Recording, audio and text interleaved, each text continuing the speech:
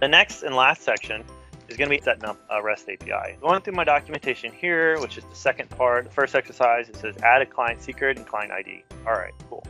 So as I showed you before, client secrets, all that stuff, all falls in the policy key section. Client secret and ID is username and password. We're using basic authentication here. Let me go ahead and add. Uh, give me manual. These components are strongly typed. I'm copying it from the docs here. Take note, it has a little small c. That's by design, case sensitive. Make sure it looks exactly like that. And then that is my client ID, which is, all right, great. Hit create. Now my client ID, so this is the username and equivalent for basic authentication. Uh, now I need to go ahead and create a client secret. Again, this is from our REST API doing basic authentication.